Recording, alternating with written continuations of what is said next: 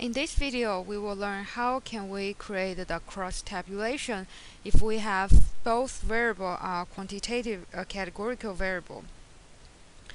So uh, you need to first open the uh, data, uh, the file dataset for categorical variable, and on the first page you should see two variables.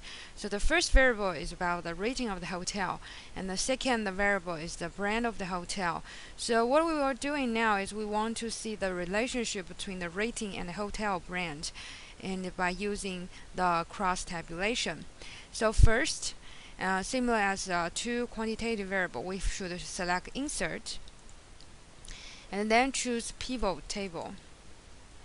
And then we can start to select our data set to fill in the uh, data range. So, so you need to make sure when you select the data, you need to always include the label for each column. So if you want to ask me, uh, if you if you want to ask me when you have you have no uh, label for the column, what you should do. So you need to first label your two columns before you select the data. And then you can click OK. So without changing the area here, your table will be located on this uh, spreadsheet. And then you can click OK. So now we will have the pivot table area.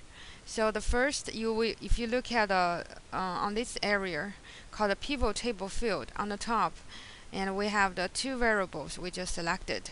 And that's the name for the two variables. And on the down area bottom area so they said it's drag field between area below. So actually we will create our cross tabulation by filling these three areas. So these three areas.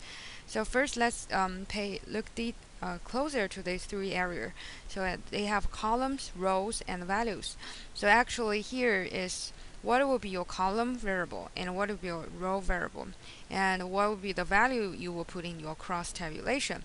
So uh, now we have two variable rating and hotel brand.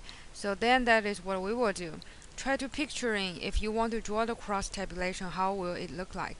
So you will have the column, you will have the row for uh, and each column uh, the column will for one variable and the row will for another variable. So the similar idea so what we will do is we will drag one variable to column and one variable to rows. And so if there is no requirement on the question, you can drag either one. So let's see, let's drag the rating to columns. So now what you will find on the this area, and you're starting to create the uh, row column label for your across tabulations. So now let's fill in the rows. So let's drag another variable, let's say hotel brand, to rows. So now you create this um, the basic frame for the cross tabulation. You have row label and column label. And as I mentioned, you need to have a good habit. So once you choose the row label and the column label, you should change the name for of the row label to the to the certain name for the variable. So obviously we know the row label is for the hotel brand.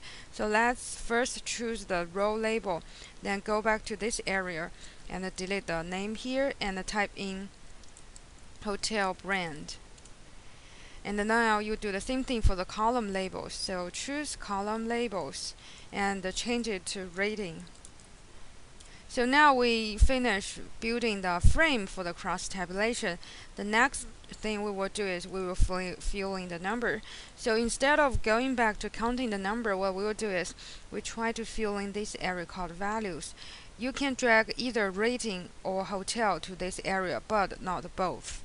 So we, for instance, we drag rating here.